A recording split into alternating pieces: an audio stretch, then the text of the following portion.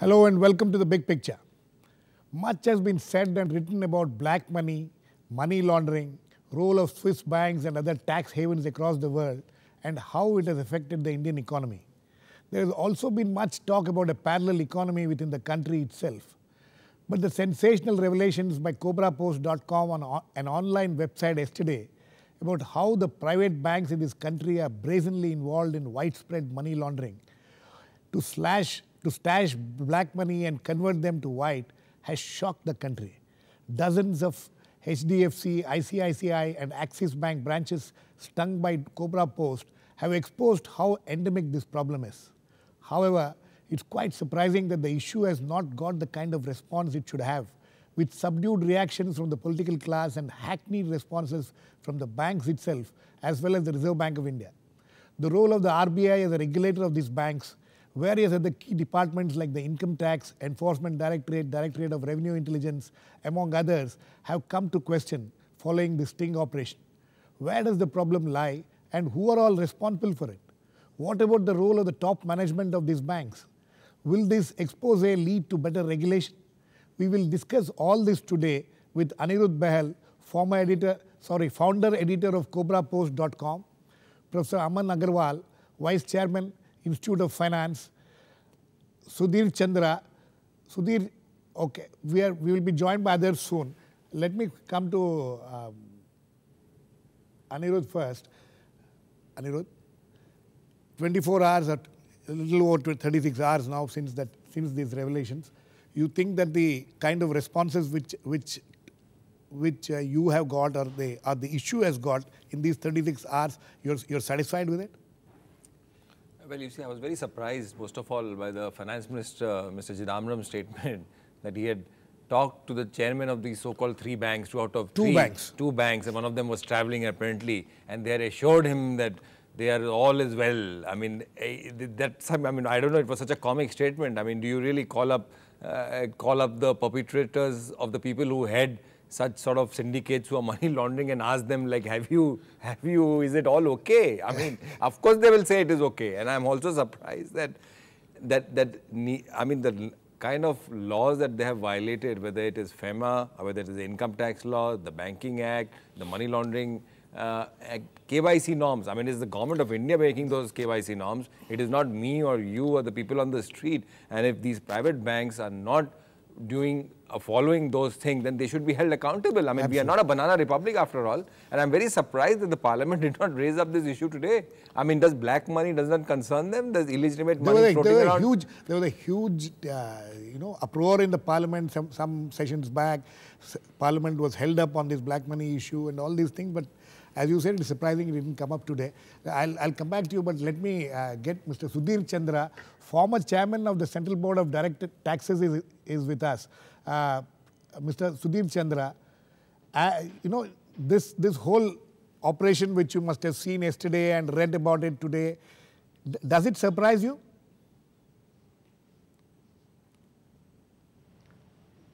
No, firstly, uh, we have a unit which is under the Ministry of Finance. Right. FIU, we call it FIU India. So whatever transactions are there in the banks. Your FIU is one is Mr. Chandra. Cash F is deposited. Sorry, Mr. Chandra. FIU is Financial Intelligence Unit. Is that what you say? Ha, please. G. Okay. G, G, G. Bilkul. Okay. This is Financial Intelligence Unit under under Ministry of Finance, Revenue Secretary. So it reports all bank transactions which are suspicious in nature. Right even deposit of 5,000, 5,000 in a slew of companies, firms may appear to be suspicious and many times it is reported by FIU India. Right. And secondly, the moment cash deposit in a bank account exceeds 10 lakhs, it becomes mandatory for FIU India to report it. Right. so, in these circumstances, here? I mean, uh, it is really strange how can transactions can escape the attention of Ministry of Finance or CBDT. So are you are you trying to say, Mr. Chandra, that you know these uh, such transactions don't take place, or are you saying that? Are, are, are, are you surprised that such transactions are taking place and it, it has not come to the notice of the FIU or the finance ministry or the, uh, or the other departments? No, I am saying neither. they must be taking place, but if they take place, they do come in the notice of FIU India and then they forward it to the concerned department. In majority of cases, they come to CBDT and CBDT does take action. Okay, but, uh, but Mr. Chandra, the question is this. You know, are you surprised that, you know, if you're, you, you must have seen the sting operation, you must have seen the number of people that, that, that the journalists from Cobra Post went and spoke to it from various branches of various of, uh, of these uh, private banks. Are you surprised that, you know, it, it is, it is, it, it is truthfully, Nikam Saab, yes. truthfully, I haven't seen it, I have read it. Okay, you have read it. But, you know, does it, does, does it not surprise you that you know these people are so easily engaged in conversations of how to launder black money, how to convert black money into white? Is this is this something a phenomena which you think is happening only in private banks, or do you think that these are happening uh, in, in, other banks also? No. No. To be truthful. Yes. Uh, to be truthful, it is difficult to say it is happening because what I have read in the newspapers. Yes that somebody was uh, persuading, rather uh, convincing uh, that his bank can do this, do this, do this. Whether such a transaction has actually taken place. Transactions have not taken place. It's not the question of transaction taking place or not. That these banks are willing to do this it's yes. itself, isn't it, isn't it a matter of concern? No, I am, I am so happy the way you have framed your question Yes, yes, please continue. And individuals' involvement, or maybe two, three individuals' involvement, according to my truthful opinion, may not be taken as the uh, as the action of the bank or the chairman. This is what I personally feel. And you were two, three, two, three individuals. People. First of all, it wasn't two, three people, individuals. There, there were dozens and dozens and dozens. Secondly, let me inform Mr. Chandra that uh, his original thing that over 10 lakhs will be reported, these very officials of the banks, ranging from like the branch manager level to territory manager to um, cluster head, etc., etc., were talking about the system of how to break up this 10 lakhs into multiple accounts, exactly. how to break up these amounts so that it doesn't attract, the no, it doesn't lead to some reporting to income tax, etc., etc. So they are trying to, they are beating the system and right. they are telling you how they will do it. The Secondly, radar, the radar catches at 10 that's lakhs. right so that's you, right and even the PAN card nine level, lakhs and you're not they are saying PAN card level 50000 है उसके नीचे डालिए so and break it up multiply put it in benami accounts put it in get a overdraft from cooperatives get a DD from somewhere else etc etc secondly it is such an endemic culture of money laundering that in cold calls this journalist is going there and pretending that he's fronting for some imaginary politician and saying that politician wants to launder his cash and he's giving a red carpet treatment. They are treating with masala dosas, tea, coffee, you know, we have to sort of get this and they are then saying the, and just my last point, this whole thing that no transaction happened is so much bogus because those each one of them is telling that he has done this in the past and he's giving and it's all on camera it's on camera and he's giving specific instances of how he where with whom he has done it and the amounts he has done it he or she has done it okay. with we are we are now joined in by Hardayal Singh former additional secretary central vigilance commission and an ombudsman in the income tax department mr singh welcome Mr. Singh, you have been, uh, I hope you have heard what has, uh, what has been said so far. Anyway, my question to you is, are you surprised by this, by what yes, you have I seen? Could, I could, I could hear, yes. Okay, Mr. Singh, are you surprised by what you have seen and heard in the last 24 hours, uh, the cobrapost.com, and you think this is something which you, you, you have seen it yourself, or you think uh, this is something which is new to you?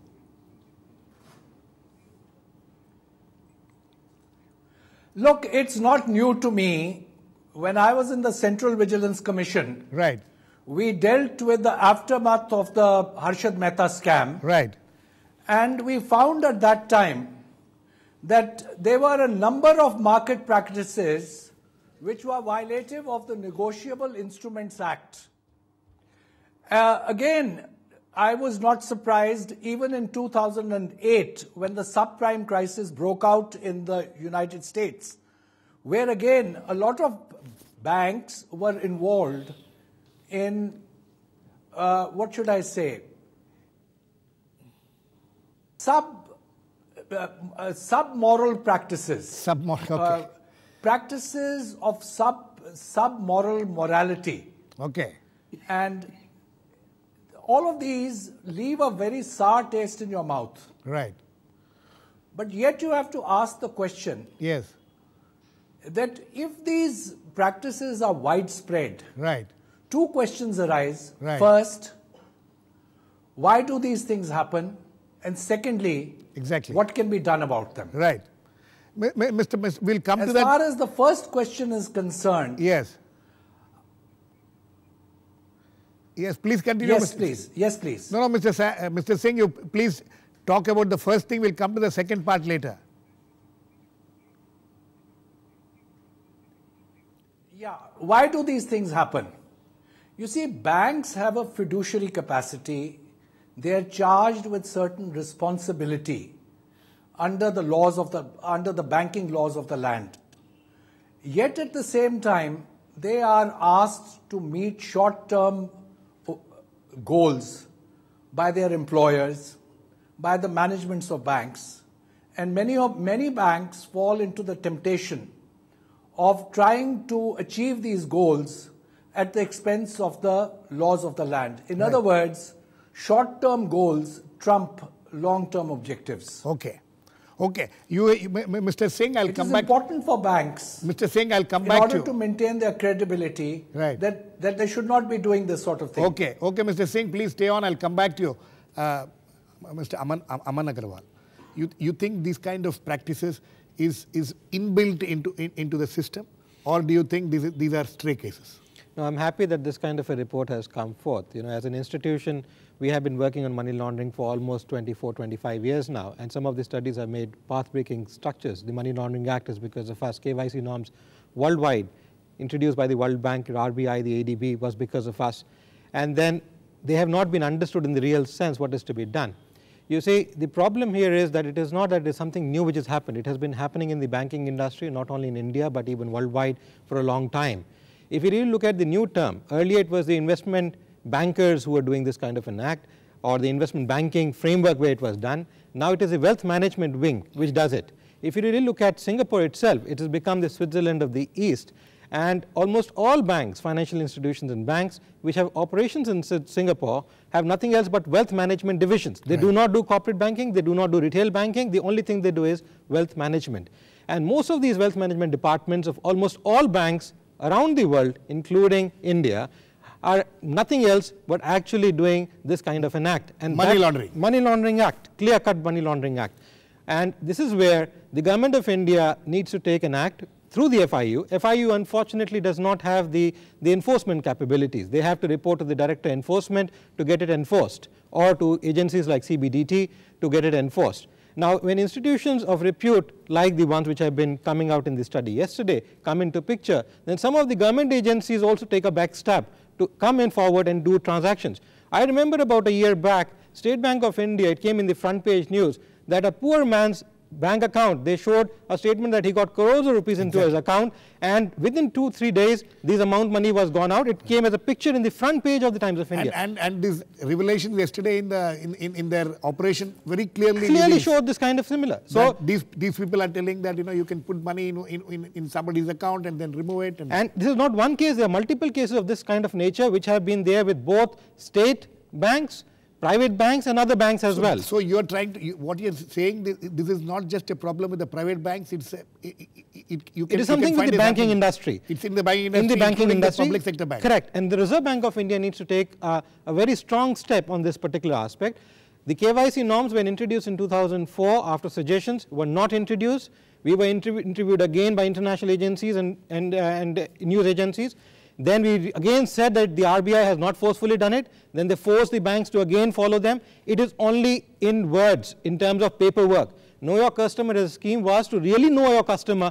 What is the There is- customer? there what does he no- get his income source and so on no and so forth. cross-checking. There is no cross checking. There is no need or want to know the customer. I customer. go to the bank, they'll give me a form to fill, Correct. KYC form, Correct. I fill it, they accept it. Correct. There is no cross-checking. No cross checking. Secondly, they'll ask you for the same documents again and again. Yes. And when you write to them that what happened to the previous document submitted, they have no response to do. They say, Let, let me let me let me get uh, Mr. Ch- Chandra on, on this. Mr. Chandra, isn't this a problem which you think, you know, has created all this uh, you know, loopholes for, for banks to be uh, behaving like this, as Mr. Agarwal was pointing out, all these banks are just wealth management, they do wealth no, management.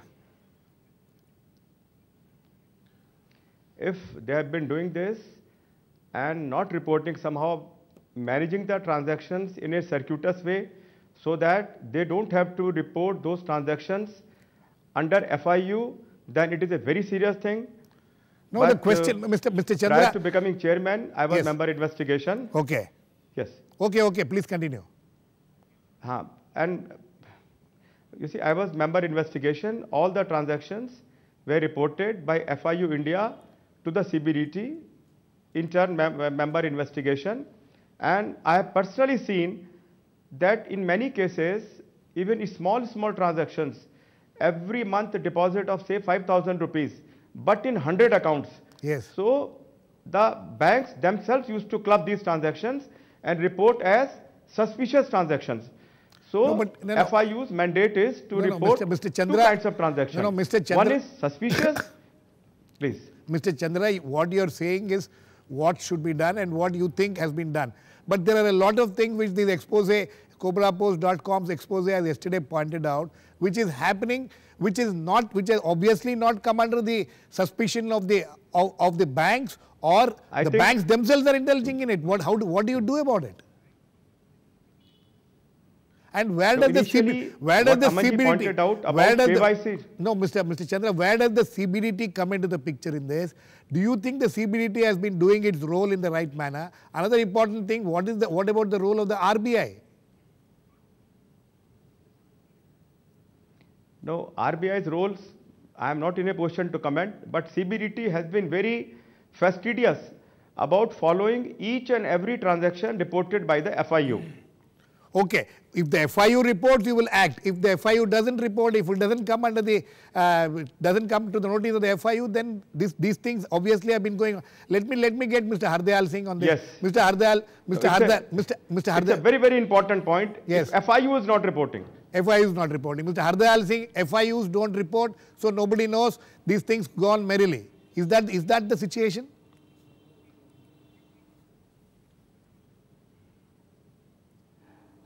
You see, uh, what is the extent to which these practices prevail can only be a can only be a matter of estimate. Right. Uh, all I can all I can say is that we have known we have known that they have existed and not only in India but all over the world. No, but if you have Mr. Mr. Hardayal Singh, if you have known that it has existed, what is it that what is it that when you are in the CVC, when you are a ombudsman of the income tax, when these things come to notice, what are the kind of actions which have been taken, or do you think there are there are problems in taking actions because of the because of the extent of money involved, because the kind of influence which the you know banks have on on the government? Is there a problem there?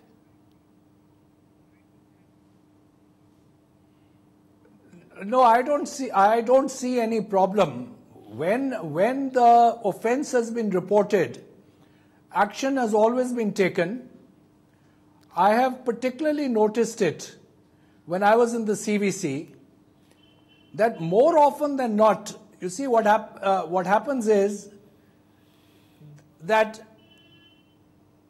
all these offences come to light. The moment they come to light, action has to be taken at two levels.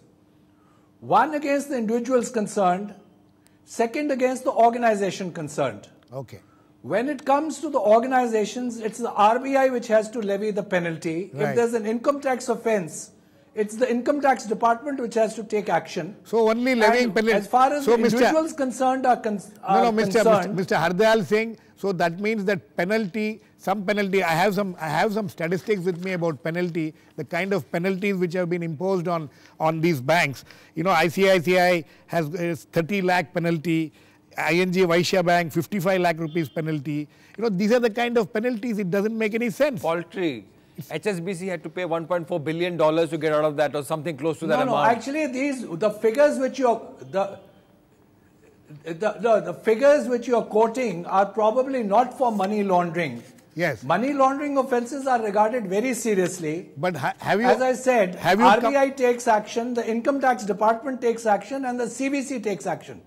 Okay. Uh, Agarwal, do you think such any actions have been taken against? You see, we have had uh, some of these cases in India also with Yes Bank, which happened yes. initially when Yes Bank had just started. After the GTB also it happened, right. they had to ask to wind up their business and then they were re-merged. I think they, they need to they be a very serious. Oriental Bank of Correct. Commerce. Yeah. I think they need to be a very serious step towards this. I think uh, either it, since it's uh, large banks we're talking about, they need to be given a serious warning on it and the chairmans need to be called for a reason as to what kind so of you, practice you, is being followed up no, with no, their the, bank. The question is here is yesterday, I mean, in the last 20, 36 hours that this, this thing has been discussed, people are saying that is, these are localized things, only the local branches no, are even, involved even, in it. No, no. The top management it cannot be involved. You see, if, if, if it comes with a private company, then the chairman is arrested and put behind bars. Exactly. Why does this rule not follow for other institutions which are even large or smaller in nature, firstly? Secondly, I think rules of the land are the same for both companies, whether it is a private company or a state-run company. Just because ICICI, HDFC, or uh, you know the third bank has some kind of patronage from the government, so they should be treated separately. I think that kind of favoritism should not be done with before the law. Firstly, secondly, yes. the important thing is whether it is one branch or two branches or three branches or one transaction, money laundering is money laundering. One transaction is sufficient for CVC or for the FIU to take it forward. And a proactive role needs to be taken. Not that when some crime is taking before, before you, you keep saying, no, no, it's okay. Unless someone reports, then we will take. So this is the, what is happening with almost all circumstances. A police will only take action when someone reports a crime is taking place. Now we need to take a proactive role. The Reserve Bank of India has required regulatory bodies within the framework which needs to work on this and they're supposed to be more active.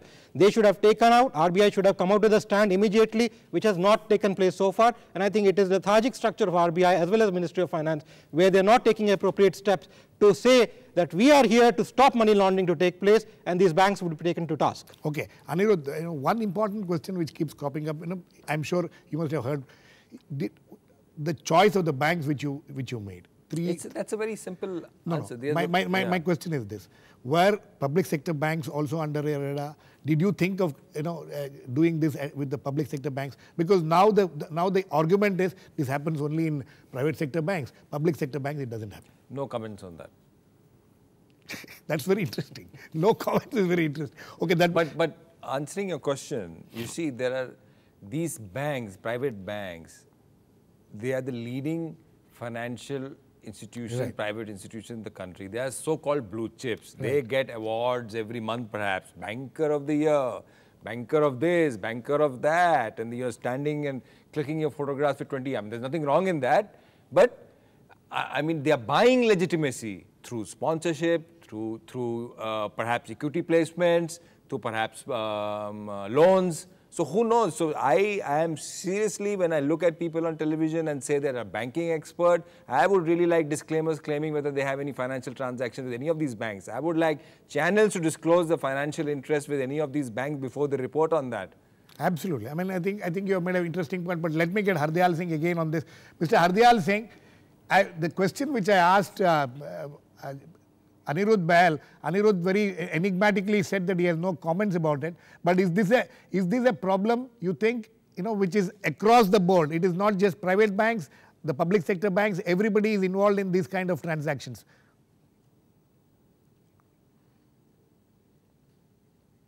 Look, I really think uh, it, that's probably true, and it's it's not as of just your experience current problem. No, Mr. Mr. It's, Hardayal. Uh, it's been there for the as Mr. Hardayal. Uh, as far, Mr. Hardayal, my question is for you, a long time. No, no, Mr. Hardayal, yes, my question please. is you have you have dealt with public sector banks, right? When you were when you were in the CVC, you know, when you were uh, you know looking into these aspects in the CVC, you were only dealing with public sector banks, not the private sector banks, right?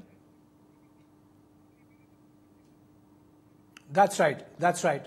And so you found the same kind of problems in the That's public sector banks also. correct. And I, yes, we did find a lot of problems. Very often they were, did not directly relate to money laundering, but there were there were plenty of other violations of prudential norms. Okay. Uh, so I would like to ask a question yes. here. I yes. mean, the Banking Act makes no distinguishing distinction between government banks and private banks. It is say any banking company right. and 46A which very clearly the section in the Banking Act says that the vice chairman, chairman and light up to the officer is deemed a public servant. Right. So why don't these private banks also come under the CVC? I'm just very curious about it. Perhaps Mr. Hardayal could answer. Mr. Mr. Hardayal?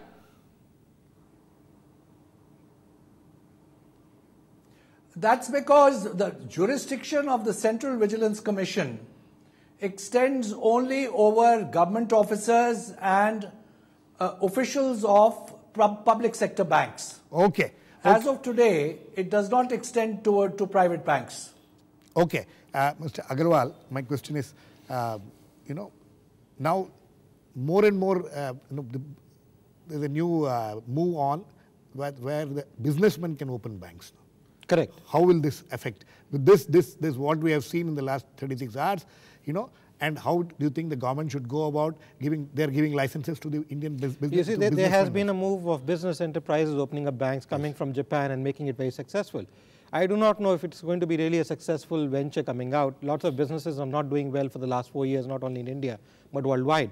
This will become another avenue for actually laundering up a lot of more money which comes in. We have already seen Kotak Mahindra Bank come up, which is a venture of Mahindra Group, which comes in. And it has still not been able to stabilize it in terms of both revenue growth as well as in terms of the, the, the structure which it needs to have for having a banking framework. Which is what is more important is, it is not important whether a company starts a bank or is it a, a big organization or an individual or a foreign company important thing is what is the regulatory bodies which are supposed how to do? do they, how are they how regulated? Are they coming into play? How are they, how regulated? Are they regulated? And from what we have seen so far, the regulations are very very weak. Very weak. And that Anirudh, ultimately, Anirudh, I like to say one more. It yes. is ultimately harming the common man because if something happens to this bank tomorrow, under any circumstances, the common man is stu stood up. With what happens to him, Absolutely. his money is tockled uh, up. Yes. What happens? That's an important question to be answered. Yes. Anirudh, very quickly, last question to you you know, it's very interesting that your, your, your reporter, when he went around, he insisted, he told everybody that I have this politician's money with me. That One second. The intent disclosure was right up front. Okay. Nobody no, can. My, but my question is, if it, if he had said it is not a politician's money, it is some real estate fellow's money, you think the re reaction would be different? No, no. At some places, he did say he was a real estate businessman. So it's not, um, the majority of places he claimed to be fronting this imaginary politician. But some cases he pretended to be a businessman as well and do so the same I mean, this is this is. They were just everybody. They are not worried about whose money it is. So they, they are worried about. They are everybody interested in the money. That's uh, it. Okay, Mr. Mr. Chandra, last words to you. Do you think that this expose will lead to some better regulations in this country? Do you think there's a need for better regulation in this country? Do you think these, these the, the people who are behind this, Definitely. the top management no, of no, these banks need to be need to be uh, held to account for what has happened? Definitely, it has exposed some system, some transactions, or some banks are circumventing some transactions and not reporting to FIU. Right. Okay. if it comes to the knowledge of the FIU, okay, then sir. it cannot escape the attention of okay. law enforcement agencies. Okay, the key but word is, is not reported to yes, the key word FIU is, itself. Then the key word is reporting to the FIU, and we can't expect the banks which are indulging in these things to report to the FIU. So that is where the problem lies. And Correct. I think we have we have come to the end of the show. Thanks to all my guests, Mr. Mr. Chandra, Mr. Hardayal Singh. Uh, Anirudh Bahal and Aman Agarwal. Please keep watching. We'll come back with another issue on the big picture, same time on Monday.